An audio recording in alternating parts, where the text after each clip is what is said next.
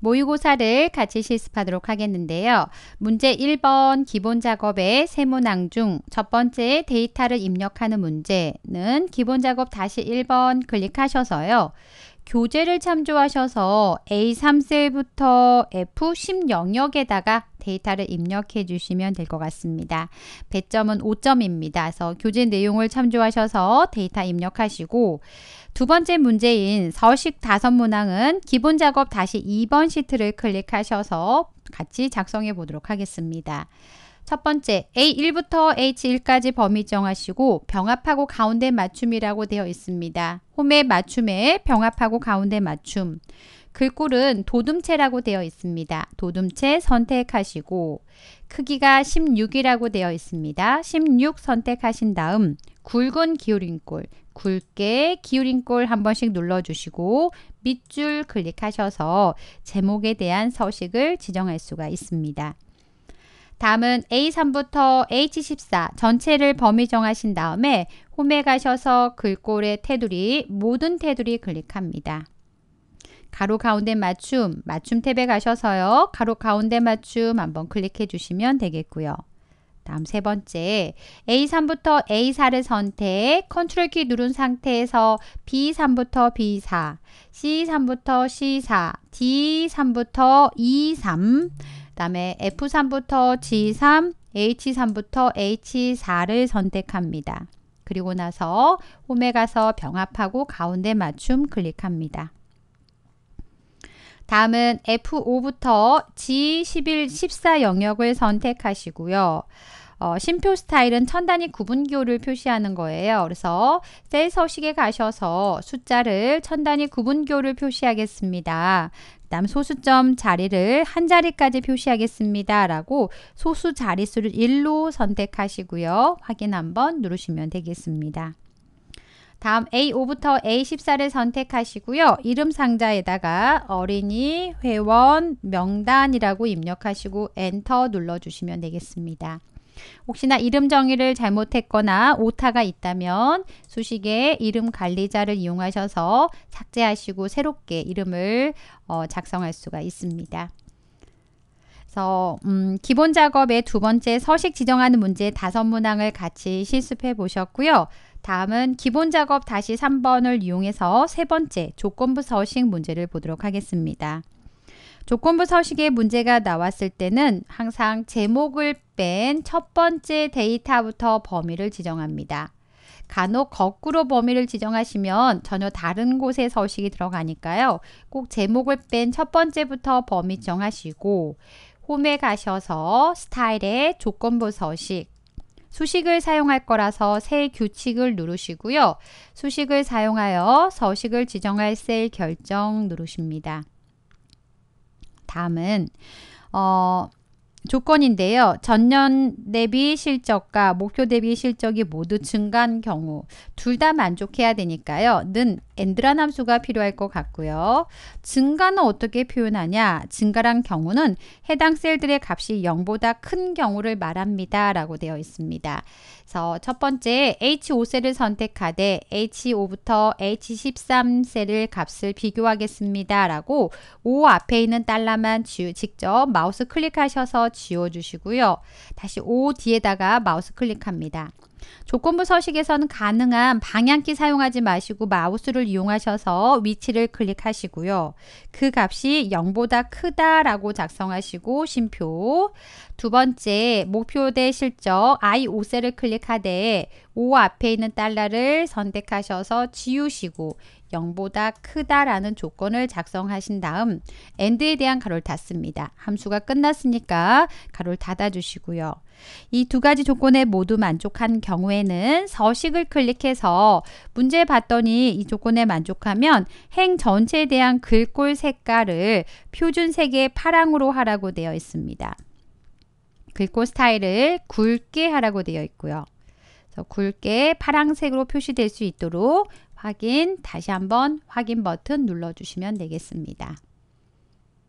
그래서 음, 기본 작업의 1번 입력, 2번 서식, 3번 조건부 서식해서 세 문항을 살펴보셨고요. 다음은 계산 작업 다섯 문항을 살펴보도록 하겠습니다. 첫 번째 계산 작업입니다.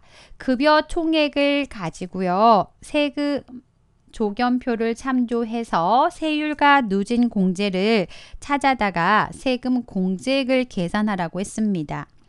계산하는 식 그대로 쓸게요. 등호 입력하시고요. 급여 총액 곱하기 세율은 음, 아래쪽에 있는 세금 조견표에가 수직으로 작성이 되어 있으니까 어, VLOOKUP이란 함수를 이용해서 값을 찾아올 수가 있습니다. 그래서 VLOOKUP이란 함수 입력하시고요. VLOOKUP 더블 클릭 어, 급여 총액을 가지고 급여 총액을 가지고 쉼표 아래쪽 표에 가서 찾겠습니다. 어, 표는 조견표는 수식을 복사하더라도 항상 같은 자리에 있습니다. 라고 F4 눌러서 절대 참조해 주시고요. 첫 번째 열에 가서 찾고 세율을 가져올 거니까 세 번째 열에서 가져오겠습니다. 정확하게 일치는 아니기 때문에 유사일치 또는 생략하시면 되고요. 가로 닫고 여기까지 하시면 세율을 가져왔고요. 계산이 되겠죠. 여기에서 마이너스 누진 공제를 빼라 그랬어요. 마이너스 다시 어, 급여 총액에 따른 누진 공제를 찾아올 수 있도록 VLOOKUP 바로 왼쪽에 있는 급여 총액을 가지고 아래쪽 어, 세금 조견표에 가서 수식을 복사하더라도 항상 같은 자리입니다. F4 첫 번째 열에 가서 찾고 네 번째 열에서 가져오겠습니다. 정확하게 일치가 아니니까 유사일치 그리고 나서 가로 닫고 엔터 눌러주시면 이제 세금 공제액이 구해져 있는데요. 이 값을 1의 단위에서 버림하여 내림에서 10의 단위로 표시하라고 되어 있습니다. 그럼 커서를 2, 3에 갖다 놓으시고요. 버림한다 내림한다 하시면 ROUNDDOWN이나 또는 TRUNC라는 함수를 사용할 수가 있습니다. 그 다음 끝에 가서 쉼표 숫자는 구해 놨고요. 자릿수가 어, 1의 자리이기 때문에 마이너스가 붙고요. 1의 자리는 마이너스 1이라고 입력합니다. 그래서 마이너스를 입력하시고요. 가로 닫고 엔터 눌러서 아래까지 수식을 복사해 주시면 되겠습니다. 네, 첫 번째 계산 작업 살펴보셨습니다. 다음 두 번째 계산 작업인데요. 총점에 대해서 순위를 구한 다음에요. 어, 순위에 있는 경품을 가져다가 표시하는 문제입니다. 랭크 .eq랑 추주함수를 통해서 음, 작성하라고 되어 있습니다. M3에 커서를 갖다 놓으시고요. 등호 순위를 구하겠습니다. 라고 RANK 입력하시는데 RANK.EQ 선택하시고 더블 클릭 바로 왼쪽에 있는 총점이요. 쉼표 본인을 포함해서 밑에서부터 위로 드래그 하시고 F4 절대 참조합니다. 그 다음 점수가 높은, 사, 높은 점수가 1등이니까 내림차순 하시고요. 가로 닫고 엔터 눌러주시면 순위를 구할 수 있고요. 아래까지 복사하시면 네, 1등부터 7등까지 순위가 구해집니다. 다시 M3의 커서를 갖다 놓으시고요. 등호 다음에다가 추주를 통해서 CHOOSE 추주 함수를 통해서 혹시 순위를 구한 값이 1등입니까? 그러면 외식 상품권이 있는 I13셀 선택하되 수식을 복사하더라도 항상 I13셀을 참조할 수 있도록 F4 눌러서 절대 참조 심표 2등인 경우는 주유권 I14를 선택하고 F4 눌러서 절대 참조. 다음 심표 3등은 문화상품권이 있는 음, I15셀을 선택하고 F4 절대 참조합니다. 그 다음 심표 3등까지는 이제 경품을 표시하고요. 4등부터 7등까지는 공백으로 표시하겠습니다. 4등 공백은 큰 따옴표 열고 닫고 5등 공백 6등 그 다음에 7등까지 입력하시고요. 추주에 대한 가로를 닫으신 다음 아래까지 수식을 복사해 보시면 1등, 3, 2등, 3등에 대해서만 경품 내역이 표시가 되고 나머지는 공백으로 표시된 걸 확인할 수가 있습니다. 다음은 세 번째 문제를 보도록 하겠습니다. 버스 운행 시간표입니다. 버스 운행 시간표를 가지고 출발 시간에다가 출발 시간에다가 정류장 개수 곱하기 소요 시간을 곱한 값을 더해 가지고 시간 형식으로 표시하라고 했습니다. 시간 형식으로 표시하는 거는 TIME 함수를 사용하시면 되고요. HOUR 함수를 통해서 시간 시간 부분 추출, MINUTE 함수를 통해서 분 부분을 추출하시면 됩니다. 커서를 아, F21셀에 갖다 놓으시고요. 시간 형식으로 표시하겠습니다. TIME. TIME에는 먼저 시간이 필요해요. HOUR 함수를 통해서 출발 시간에 시간 부분을 추출하겠습니다. 쉼표 분을 추출하겠습니다. MINUTE 함수를 통해서 출발 시간에 분을 추출하겠습니다. 초는 0으로 하겠습니다. 라고 가로 닫고 엔터 누르시면 그냥 똑같이 어, 출발 시간에 있는 시간을 가져다가 표시했어요. 여기에다가 여기에다가 정류장 개수 27정거장에다가 어, 각각의 정류장마다 5분씩이 걸린대요. 그거를 27 곱하기 5 한 시간을 여기다 더해주고 싶어요.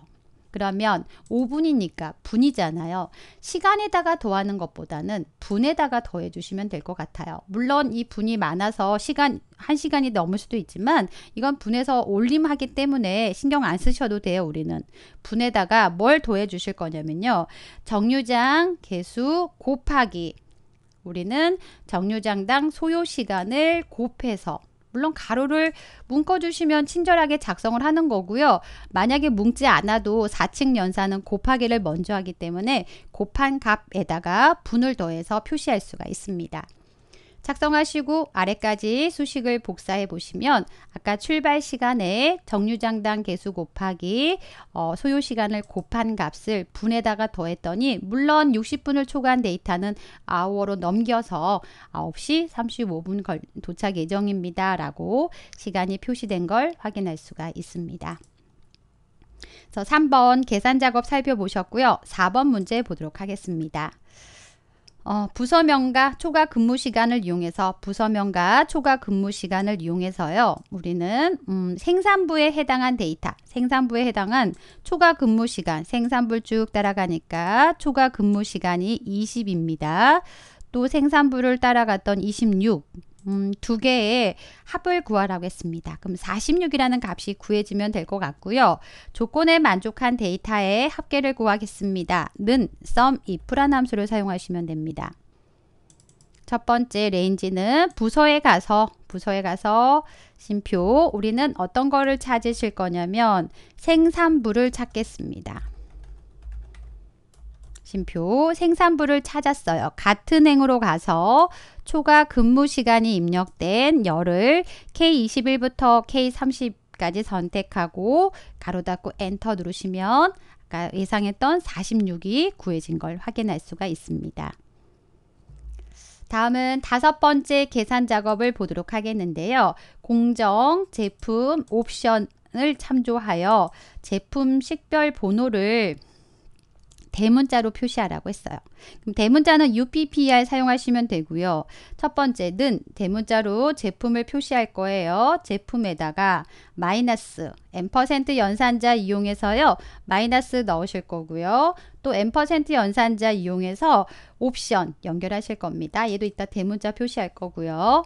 ampersand 연산자 이용한 다음에 공정의 마지막 숫자를 가져오래요. 그럼 오른쪽에 한 글자를 가져오기 위해서 RIGHT 함수가 필요하겠네요. RIGHT 공정에 가서 쉼표 한 글자를 가져오겠습니다. 그 다음에 괄호 닫고 엔터 하시면 이렇게 표시가 되는데 아 마이너스를 안 붙였네요.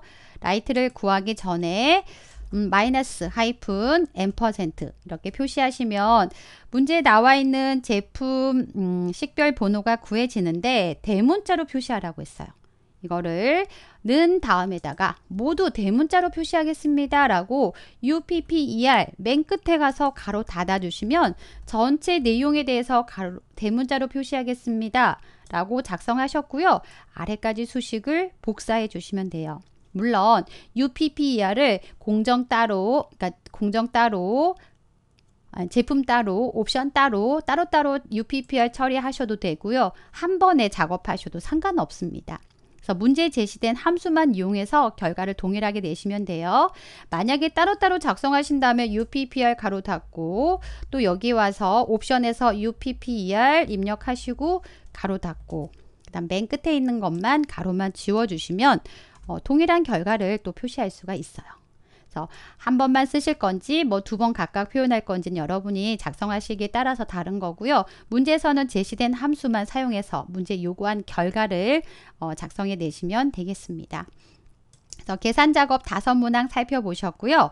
다음 분석 작업 두 문제가 있는데 첫 번째 문제 분석 작업 다시 1번 시트 클릭하셔서 부분합을 작성하도록 하겠습니다. 부분합 문제가 나왔다 하시면 정렬부터 하셔야 돼요. 거래처를 가지고 오름차순 하라고 되어 있어요. 홈에가 데이터에 가셔서 어, 정렬 및 필터에 오름차순 정렬 거래처에다가 커서를 꼭 갖다 놓으시고요. 그 다음 데이터에 가서 부분합을 클릭합니다. 조금 전에 정렬하셨던 내용이 그룹할 항목이 되어 거래처를 꼭 선택하시고 거래처별 수량의 합계를 구하래요. 그럼 지급액에 대한 체크를 해지하시고 수량을 선택하고 합계 확인하시면 거래처별 수량의 합계가 구해졌어요. 다시 한번 부분합에 갑니다. 이제는 수량이 아니라 지급액에 대해서 지급액에 대해서 평균을 구하라고 했습니다. 사용할 함수를 평균으로 바꿔주시고요. 새로운 값으로 대치라는 체크를 꼭 해제하셔야만 어, 합계도 표시하고 평균도 표시할 수가 있습니다. 그리고 나서 확인 버튼 누르시면 합계와 평균을 표시할 수가 있습니다. 다음은 분석 작업 두 번째 문제 어, 시나리오를 작성하는 문제인데요. 시나리오 문제가 나올 때는 항상 이름 정의를 먼저 확인합니다. D13제를 선택하고요. 이름 상자에다가 연평균 성장률 연평균 성장률이라고 입력하고 엔터 그 다음 D14를 선택하시고 원가 비율 입력하고 엔터 누르십니다. 그 다음 D15셀을 선택하시고 이름 상자에다가 기타 경비 입력하시고 엔터 누르시고요. 다시 G10세를 선택하시고 이름 상자에다가 순이익 평균이라고 입력하고 엔터를 누르십니다. 이제 실제 값의 변화가 있는 거는 연평균, 연평균 성장률부터 기타 병비에 대해서 값의 변화가 있으니까 세 개를 선택하신 다음에 데이터에 가시면 예측의 가상 분석의 시나리오 관리자를 클릭합니다. 추가를 클릭하셔서 첫 번째 시나리오 이름은 이익 증가라고 입력하시고요. 확인 한번 누릅니다. 연평균 성장률을 현재 5%를 6%로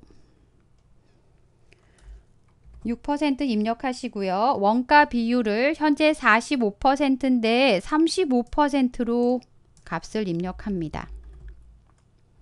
그 다음 기타 경비를 현재 어, 10%인데 8%로 입력하시고요. 그 다음 추가합니다. 두 번째 시나리오를 작성하기 위해서 시나리오 이름을 이익 감소라고 입력하시고요. 확인 한번 합니다. 현재 5%를 음, 4%로 원가 비율 현재 45%를 55%로 기타 경비를 12%로 수정하시고요. 확인 누르시면 두 개의 시나리오가 만들어졌습니다. 증가, 감소에 해당한 시나리오가 만들어져 있고요. 이거에 대한 결, 결과를 보고서로 보겠습니다. 요약을 클릭하셔서 G10셀에 대한 결과를 좀 보고자 합니다. 확인 한번 눌러보시면 현재 작업하는 분석 작업 다시 2번 앞에 왼쪽에 시나리오란 시나리오 요약이란 시트가 만들어지고요. 현재 값과 증가, 감소에 따른 값의 변화에 따른 순이익 평균을 확인하실 수가 있습니다. 그래서 분석 작업 두 문항 살펴보셨습니다. 다음은 이제 기타 작업의 매크로 문제 먼저 보도록 하겠습니다. 매크로는 기록을 해놓고 연결하는 방법이 있고 도형이나 버튼을 만드시면서 매크로 기록을 하시는 방법이 있습니다. 첫 번째 매크로 기록을 하기 위해서 비어있는 셀을 선택하시고요. 어, 기록하실 땐 항상 비어있는 셀부터 선택을 하시고 개발 도구에 매크로 기록을 갑니다. 매크로 이름에다가 가족 수당이라고 입력하시고 확인합니다. 가족 수당은 H6셀을 선택하시고요. 바로 왼쪽에 있는 인원수 곱하기 어, 10만 원 동그라미 0의 개수가 하나 둘 셋 넷 다섯 개네요. 10만 원의 값을 입력합니다. 그래서 가족 수당 20만 원 이렇게 구해지실 거고요. 아래까지 수식을 복사합니다. 네, 가족 수당을 다 구하셨다면 이제는 음, 매크로 기록을 종료하겠습니다. 라고 개발 도구의 기록 중지 버튼 누릅니다. 조금 전에 기록한 가족 수당의 매크로를 실행할 수 있도록 어, 도형에다가 연결하도록 하겠는데요. 삽입에 가시면 도형이 있고요. 기본 도형의 타원을 선택합니다. F19부터 F19 영역부터 시작을 하셔서 문제에 G23까지 그러니까 19, 20, 21, 22, 23까지 드래그합니다. 바로 가족 수당이라고 입력하시면 되고요. 나중에 매크로 연결해 놓고 쓰셔도 돼요. 도형에서 마우스 오른쪽 매크로 지정해 가셔서 조금 전에 기록한 가족 수당 매크로를 연결하겠습니다. 라고 선택하고 확인 누릅니다. 다음은 두 번째 매크로를 기록하기 위해서 비어있는 셀 선택하고 개발 도구의 매크로 기록, 매크로 이름을 서식 지정이라고 입력합니다. 확인 한번 클릭하신 다음 위치를 I4부터 I15 영역을 선택합니다. 글꼴 스타일을 홈에 가셔서 기울인 꼴. 그 다음 채우기 색깔을 선택하시고 표준 색의 노랑을 선택합니다. 기울인 꼴과 채우기 색깔 노랑으로 적용하는 서식에 대한 서식 지정에 대한 매크로 작업을 다 하셨다면 개발 도구에 가셔서 기록 중지 누르셔서 매크로 기록을 종료합니다. 이제 서식 지정 매크로도 언제든지 실행할 수 있도록 연결하실 도형을 만들도록 하겠는데요. 삽입에 가시면 도형이 있고요. 사각형 첫 번째 직사각형을 선택하셔서 H19부터 시작한 다음 H19부터 I23까지 드래그합니다. 바로 텍스트를 서식 지정이라고 입력하시고요. 입력하신 다음 도형에서 마우스 오른쪽 매크로 지정을 클릭하셔서 기록해 놓으셨던 서식 지정 선택하고 확인합니다. 간혹 오타가 있었을 때는 도형에서 마우스 오른쪽 텍스트 편집 이용하셔서 수정하시면 됩니다. 두 개 매크로 기록하고 도형 연결하는 문제 각각 5점씩에서 10점 문제 매크로를 살펴보셨고요. 다음은 기타 작업의 차트 문제를 보도록 하겠습니다. 차트에서 종가, 주황색 계열의 막대를 음, 표시되지 않도록 데이터 범위를 변경하라고 되어 있습니다. 선택하고 마우스 오른쪽 삭제해 주시면 될 것 같고요. 그 다음에 코스피 지수 계열은 표시기는 꺾은 선형으로 바꾸라겠습니다. 회색 계열을 선택하고 싶은데 마우스 클릭이 잘 안 되실 수 있어요. 이럴 때는 마우스 오른쪽 차트에서 마우스 오른쪽 버튼 누르셔서 음, 차트 종류 변경 가신 다음 왼쪽 아래 콤보를 선택하시고요. 코스피 지수를 선택하신 다음 차트 종류에서 어, 데이터 표식 있는 꺾은 선형 선택하시고 보조축으로 눈금을 보겠습니다. 라고 옵션을 체크하신 다음 확인 한번 클릭합니다. 다음은 차트 제목을 표시하기 위해서 차트 요소의 차트 제목을 클릭하시고 차트 제목의 글자를 지우신 다음 주식 거래 현황이라고 입력합니다. 차트 제목 다시 선택하신 다음에 글꼴을 홈에서 궁서체 크기가 14 다음에 굵은 기울인 꼴, 굵은 기울인 꼴 한번 클릭하시고요. 밑줄까지 클릭합니다. 차트 제목에 대한 서식 작업하셨습니다. 다음은 1월 12일에 해당한 음, 막대를 선택하시면 거래량을 선택하시면 하나의 어, 요, 어, 하나를 선택하면 전체가 선택이 되고요. 다시 한번 클릭하셔서 하나의 요소만 선택하시고 우리는 음, 차트 요소에 가셔, 가셔서 데이터 레이블 바깥쪽 끝에다가 값을 표시하겠습니다. 라고 선택하시면 돼요. 어, 숫자가 좀 다른데요. 아직 작업이 덜 끝나서 그러신 거고요. 세로 값 축을 선택하겠습니다. 네 번째, 세로 값 축의 눈금 표시 단위를 마우스 오른쪽 축 서식에 가셔서 오른쪽의 눈금의 표시 단위를 문대에서 천으로 바꾸라고 했습니다. 천으로 바꾸시면 어, 이제 눈금 아, 거래 어, 데이터 레이블 값 확인할 수 있죠. 천을 다시 한번 선택한 다음 화면에 봤더니 가로쓰기가 되어 있어요. 어, 선택하시고 그냥 오른쪽에 오셔서 어, 표시 단위 레이블 서식의 크기 및 속성의 텍스트 방향을 가로로 하겠습니다. 라고 옵션을 지정해 주시면 되겠습니다. 다음 범례를 차트 요소에 가셔서 범례를 위쪽에 표시하겠습니다. 선택하시고요. 다시 범례만 선택하신 다음 채우기 색깔 우리 채우기에 가셔서 단색 채우기에 가셔서 흰색 배경 1번으로 하겠습니다. 라고 선택하시고 테두리에 그림자를 주기 위해서 효과에 가셔서 그림자 미리 설정을 이용하셔서 문제에서 오프셋 대각선 오른쪽 아래라고 되어 있습니다. 그래서 범례에 대해서 서식을 음, 그림자 효과를 넣어주시면 되겠습니다. 문제에 제시된 다섯 문항의 서식 작업하셨고요. 여러분이 작성한 차트와 문제에 제시된 차트를 비교해 보시고 맞게 작성이 되어 있는지 확인하시면 되겠습니다. 여기까지 실전 모의고사 보셨습니다.